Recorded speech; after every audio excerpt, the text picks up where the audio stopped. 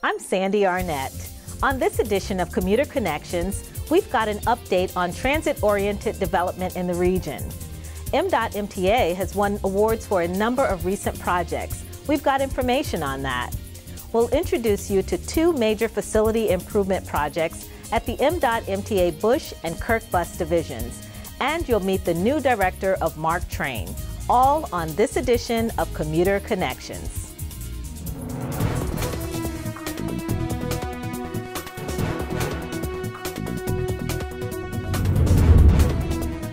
As a daily transit rider, you may have noticed several transit-oriented development sites in our region, which have merged attractive residential and commercial properties with public transit hubs. It's a concept and a transit life choice many are choosing for its convenience. M.M MDOT MTA Manager of Real Estate George Fabula joins us with a look at transit-oriented development in our region. Thank you for joining us. You're welcome. Thank you for having me. So tell us, what is transit-oriented development? Transit-oriented development, or TODs, are a planned, dense, mixed-use development within a half mile of a transit station, which will hopefully increase ridership and also support economic development. And how did the concept come to be? Well, TODs as itself uh, became a plan probably more popular back in the late 1980s, 1990s by Peter Calthorpe, who wrote a book about the new American metropolis, where basically talked about creating highly dense use developments around transit areas. And where would you say was like the first development um, as far as a transit-oriented development project? It could actually date back to the early 20th century in uh, Minnesota. Uh, their transit, they had over 500 uh, miles of rail for streetcars.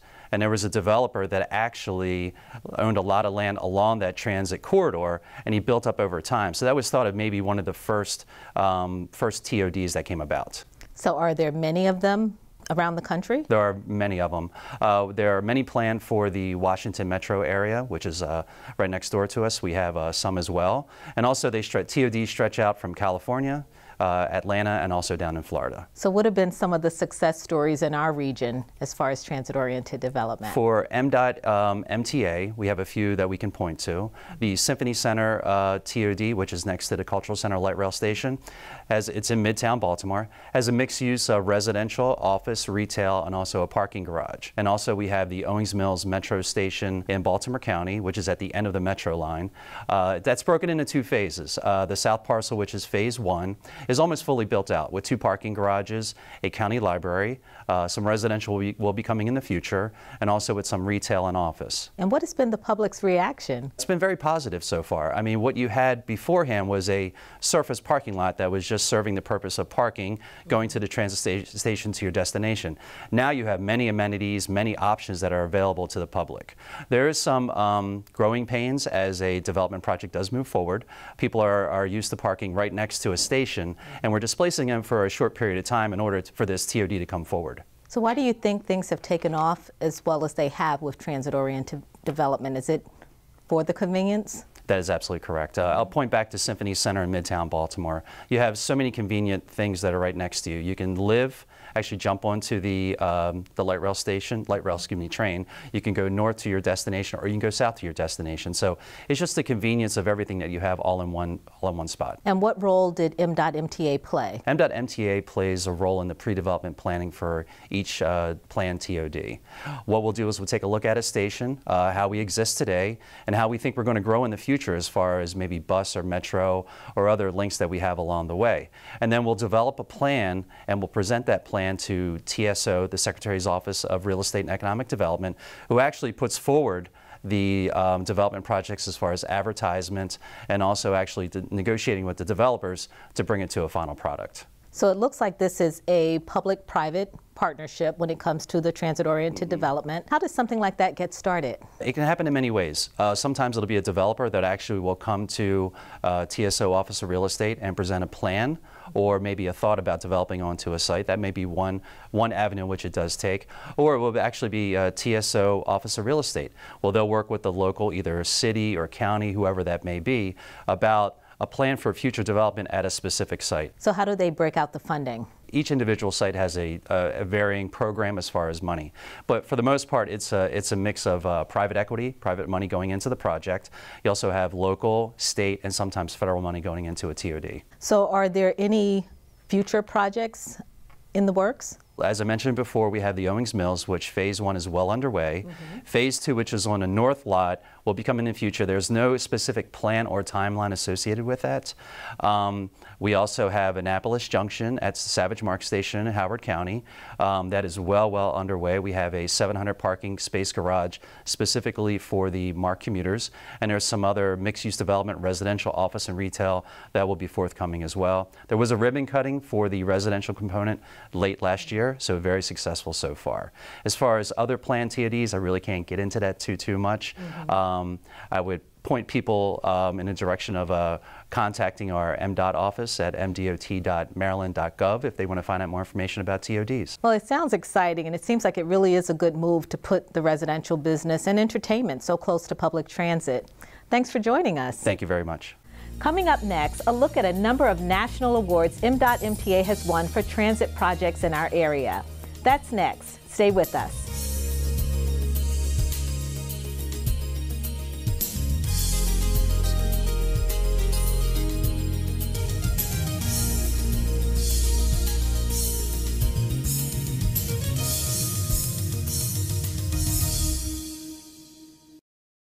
A moment in transit. When she was named manager of operations for Metro Operations, Michelle Holly not only capped a distinguished career, she made history as the first woman to hold that title. When I first started uh, with the organization, it was called Mass Transit Administration. I started in 1987 and um, started as a bus operator two years ago, I was brought on as the acting manager of operations here at Metro Operations, and a year ago, I was awarded the position. As Michelle's profile has increased, so have her responsibilities. My basic role now is to manage the transportation department. That is that includes our operators, our train operators, and our station attendants. And I also manage the um, field supervisors or the field supervision department um, that has a superintendent and four field supervisors. A top consideration for all M.MTA employees is safety. Michelle explains how her staff keeps up with safety and training regulations. We conduct training. We have training uh, for them. Um, we meet with the safety department, um, and uh, we have people come in to provide that training. Michelle's list of accomplishments continues to grow as she recently received a distinguished honor. What I'm most excited about at this time is the Professional Leadership Program for Women. Um, I was one of 23 women selected to participate in this program. Life of Michelle outside of MDOT MTA revolves around her love of music. I love to sing. Um, I sing in church. Um, I've even directed a choir here and there. Um, I also am classically trained uh, in piano. Uh, so it's been an off and on thing, but um, I love classical music. Um, and maybe one day I'll teach. I will never perform because I only love playing for me, but um, I do I do love piano. With the upcoming addition of a new Metro director who also happens to be a woman, Michelle looks forward to leaving an impact on the agency. What I would like to do is to continue to empower other women um, who um, don't feel like they are good enough to um, to get in a certain field. There have been a lot of people who have come this way before me. Um, they have shown me things that I would never have thought I would learn about trains. I also thank the operators. The operators who work with us, they have shown me also just as much as my previous mentors have. And, and I thank them. I really do. A moment in transit. MDOT MTA has made a number of innovative improvements to its facilities in and around the area, which have garnered national awards and attention. One of the awards was for the improvements made to the Baltimore Link West Baltimore Transfer Facility. MDOT MTA Director of Engineering Vern Hartsock joins us with a look at several awards the agency has been presented for excellence. Welcome to Commuter Connections. Hello, Sandy. My pleasure to be here. Thank you. Now, M.MTA has won several awards, most recently from the Maryland Quality Initiative, the Award of Excellence. And one of the awards was for the West Baltimore Transfer Facility. Tell us a little bit about the significance of that facility and the importance of that award. Absolutely, Sandy. The West Baltimore uh, Transfer Facility is a key component to Governor Hogan's Baltimore Link initiative to transform our fixed route bus service. At that facility, we have about five to 600 bus transfers that take place each day with buses moving through the facility. And if that facility wasn't there, the patrons would be making trips across busy intersections and doing it in a less than ideal and safe condition as they are now. This facility is well lit, it's nicely decorated and comfortable, it provides a layover for our bus operators, Patrons can also purchase fare tickets there and get public information from our signage. It's a major component of our Baltimore Link system. Okay, and when did the facility open? The facility opened in June of 2017, coinciding with the launch of Baltimore Link. So now with the Maryland Quality Initiative Award, how important was that for MDOT MTA to receive the award for the West Baltimore Transfer Facility? The Maryland Quality Initiative Award is a prestigious award. It is an award in which we are ranked against our peers for our accomplishments in major projects that the criteria involves collaboration among stakeholders, including the public, innovation, and quality inherent in our designs and construction and planning of our projects. So it's very important to us. And I know that you also won in, I guess, a couple of other categories. Tell us about those awards. Yes, we also received an award for our bus main shop maintenance facility. This award was issued to us because this facility is a state-of-the-art facility that has 19 bays for repair and inspection of our buses, 10 bays for air conditioning servicing, plus it has administrative offices, training facilities, a machine shop, a welding shop, parts storage, and the functions inherent in this facility previously were housed in separate buildings that were built in 1903 to maintain the electric trolley cars. Okay, that's interesting. Now, have you, has MDOT MTA ever won in you know these awards before or won in these particular categories? Yes, MTA has won several awards over the years. One notable was a few years ago for our Metro Security and Fire Management System, where we replaced all the fire and smoke detection systems in the Metro to keep it to be one of the safest facilities in the subways in the country. And a third category, I guess it um, was the Baltimore Link Planning and Program Management. Tell us a little bit about that award. That award was significant.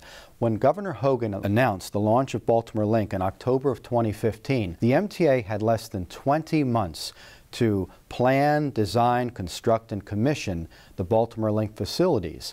And the planning effort that was done to bring about the West Baltimore facility was magnanimous in that the planning took place throughout the whole design and construction and commissioning of the project, whereas planning usually takes place early on and concludes its operation but in order to deliver the project on time, the planning effort was concurrent with the other activities and we realized a successful opening on time. That's awesome. What's in the future for MDOT MTA? Are there any other significant projects on the horizon that might qualify for these type of awards? Upcoming, we have the overhaul of the light rail trains that patrons should begin to ride them uh, this spring. And they are essentially an all-new train having all the major systems overhauled or replaced. We're also buying all new Metro subway cars and replacing the entire train control system for the Metro, as well as redeveloping Camden Yard Station. We also have the North Avenue Rising project. Many initiatives are on the horizon that our public will soon enjoy. So what does the engineering group, which you serve as director of, play in the build and design phases of the projects like the ones we just discussed? My office is responsible for the design, construction, and commissioning of all of the major projects that the MTA undertakes. Well, Vern, thanks so much for joining us on the show, and congratulations to you and MDOT MTA on a job well done. Keep up the good work. My pleasure, Sandy. Thank you for having Thank you. Just ahead, a look at two MDOT MTA bus division projects making a difference in transit in our region. That's next. Stay with us.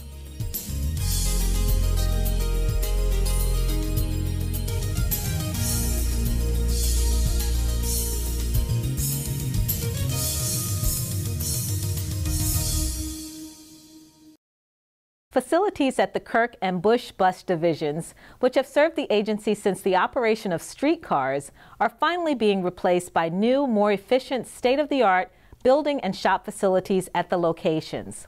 All to better serve MDOT MTA transit customers on the streets. MDOT MTA Director of Bus Maintenance Dave Varner joins us with more on the improvements made at these two locations. Welcome back to the show. Good morning. Thank you. So, speak to the important role that the Kirk and the Bush bus divisions play for MDOT MTA. Okay, starting off with Kirk Division. Kirk Division is actually one of our most centrally located divisions. It's in the middle of the city. It was, you know, built back in 1947, so it's over 60 years old. It's been part of the community for many, many years. The advantage of that is what they call deadhead miles. Mm-hmm. You know, how far the bus the bus has to travel to get to its uh, you know, starting port or its destination. Mm-hmm. So it saves the state money by being so centrally located. But it's an old facility, been around for a long time, and it's in, like I said, the middle of a residential area. So where is it located exactly? It's actually on Kirk Avenue. It's uh, 2300 Kirk Avenue. So besides the age of the facility, what are some of the other issues that you've had to address there? Well, being built back in 1947, it's like an old house. So all the technology, the heating, the cooling, the whole operation of it is outdated. You know, one of the other things, the new facilities will be fully enclosed, which means you won't see a bus. All the buses are parked inside. Even on the maintenance side of it, all the buses will be inside. So all you'll see is two nice, beautiful buildings, and you'll just see the buses pulling in and out where the old Kirk, they were all lined up out there. So you had 145 buses sitting out there in the middle of the community, kind of an eyesore for them. Mm-hmm. So it, it is helping and it makes us a better partner with that community. And I was going to ask you, was it more the eyesore? Could it be the noise? All that plays a role into it. When you got 145 buses, you know, right next to your, your house, that can be very annoying. So now everything's inside, enclosed, quiet, you know, and it's not an eyesore. So now, when did the work on the new Kirk bus facility begin? It started back in 2013. There's actually three parts to it. The maintenance facility, which has just been completed, actually right across from the original Kirk division. Like I said, it started in 2013. We just kind of completed it now. They moved in to mid-January, so it's actually in operation, but it's working right now. That was the first part of it to get the maintenance out of the old building. The second part is we had to find a temporary facility for the transportation side of it, the bus operators, and the storage of the buses and dispatch and all of that. We were lucky. We looked at various locations, probably 20 something plus, and found a place just up the street, no more than one mile from Kirk Division. It's called the uh, Old Anderson Olds Building. And the final part is the big transportation, what they call Phase 2 Ultimate. That's where they're going to take right now and totally tear down the current Kirk location and build that up, and it's going to be a fully enclosed, uh, nice administrative offices, new bus wash, new everything. You know, so it's going to benefit not only just employees but also the uh, community and make the operation a lot more efficient. Yeah. I was going to ask, what are some of the features? It sounds, yeah, that sounds like a lot of work, but it's going to it's be a great. lot. The whole operation now is inside, both on the maintenance side and on the um, administrative and parking side of it too. So when will all of the work be completed? Phase one is completed. Mm-hmm. The temporary site is done, and we've actually got operations moved up in there. The phase two ultimate is going to take two and a half to three years to be completed. And what is the cost for the work at Kirk? Phase one was around $40 million. That's what we got as far as a federal grant to help us with.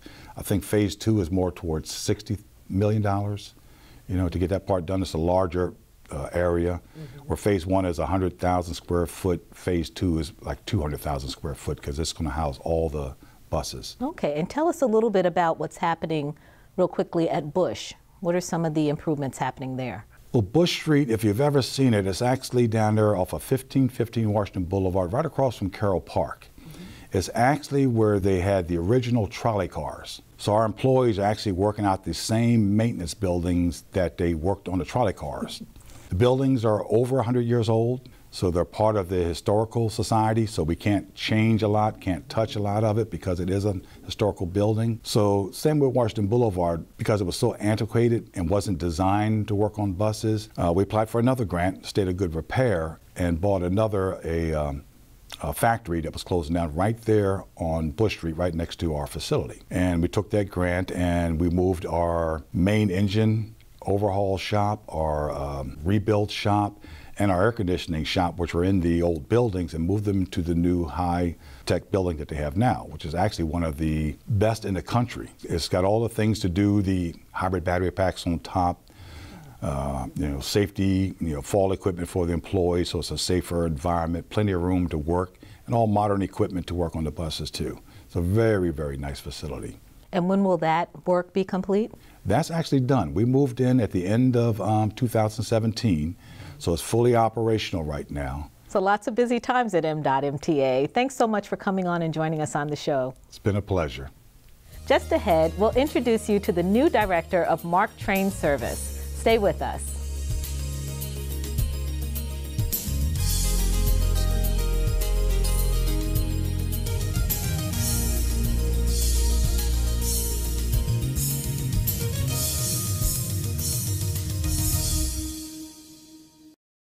MARC Train has a new director we want you to meet. Being responsible for a rail system that runs from northern Maryland and Perryville to Baltimore and D.C., and then out to Martinsburg, West Virginia, is an important responsibility in rail transportation. MARC's new director, Andrea Farmer, is certainly up to the job for the tens of thousands of commuters who ride MARC each and every day. We welcome Andrea to Commuter Connections. Welcome to the show. Thank you. Good morning. So, for our viewers and listeners who may not know, what is MARC Train and tell us about the routes? Well, MARC Train, of course, is a commuter system. We run on three lines. We have the Penn Line, who serves Perryville, Maryland, down to Washington Union Station. We have the Camden Line, of course, from Camden Station in downtown Baltimore all the way down to Union Terminal in Washington, D.C. And then we have the Brunswick line, which actually starts in Martinsburg, West Virginia, and terminates at Washington's Union Terminal. So, what's the ridership for MARC Train? Ridership is good. We serve approximately 9.3 million rides a year, 30,000 per day. We have weekend service, which is growing. Mm-hmm. We've, of course, added some bike cars to our weekend service, which is exciting. And you know, we're looking forward to the upcoming Cherry Blossom Festival. That's right, that's a big deal. It is a big area. deal. So, welcome to M.MTA. Tell us a little bit about your role as director of MARC Train. Oh, role as director of MARC Train. um, I equate it to, and this may not be appropriate, but an octopus. it moves all the time and it has eight arms. But you know what? I think that's what makes me love it so much. It's it's a challenge and it always is changing. Mm-hmm. Um, you know, some of the challenges, of course, you know, we have a lot of passengers and you have to keep them happy. Right. Sometimes there's bumps along the road. Sometimes a train doesn't come in on time. So you know, it, it's it's exciting. It's a lot that's yeah, going it, on. It is. It's it a is. lot that's I mean, going on. you know, additionally, we have uh, new new trains that new locomotives that uh, have been delivered. Um, so that's very exciting, and we're hoping now that you know we're going to get uh, further reliability. Mm-hmm. Um, the trains, of course, they are Tier Four, which is you know an environmental improvement over what we have now. So I think that that's going to be you know exciting for people to see that out there. Give us a little sense of what your day-to-day operations are like. I know you said you're kind of all over the place, and there's lots going on, but you know, when you come in in the morning, what, what do you do through the what day? What do I do? To well, keep first, MARC you know Train what? running, right? Keep, first, first thing, first thing I do is I talk to people. I talk to staff. I mean, you know, really, they they are what makes MARC Train run. Mm-hmm. Um, you know, it's not about me; it's about them, and they do a fantastic job. You know, we have, of course, you know, limited, you know, limited resources, um, and we have our two major contractors that we have to oversee, Amtrak and Bombardier, who mm-hmm. operate and maintain our equipment. So there's a lot of interaction every day between staff, you know, our, our operators, maintenance. Then I go, you know, I try to go in and check with our MOCC, which is the MARC Operations Control Center. you know, to see how the trains are running. So, you know, I want to see and make sure that we, you know, haven't, you know, had any problems during the morning rush hour. You know, those peak hours are always, you know, a little nerve rattling. We never know, you know. All of a sudden you have a piece of equipment go down and then you have to make changes very, Right, it's very quickly and it's very fast paced and um, you know that that's sort of the start of the day Mm-hmm. you know and then of course there's lots of meetings to attend so Always meetings, always, Always lots meetings. of meetings. So, what prepared you for this job? Tell us a little bit about your background. i worked for a defense contractor way way back in 2000 and that defense tra- contractor took on the metro overhaul So that was kind of my break into transportation. Um, they asked me to come and work on the program, and I did. Then um, the Metro overhaul, of course, ended, and you know I went on to another contractor. But you know that that aside, I have been working in and around the MTA for 18 years And you've been loving it ever since. ever right? since. Three years ago, um, almost to the day, I got the opportunity to go over to MARC Train and do all their financial budget management, and really gave me a good sense of what MARC is. Um, you know, we're 95% contracted services.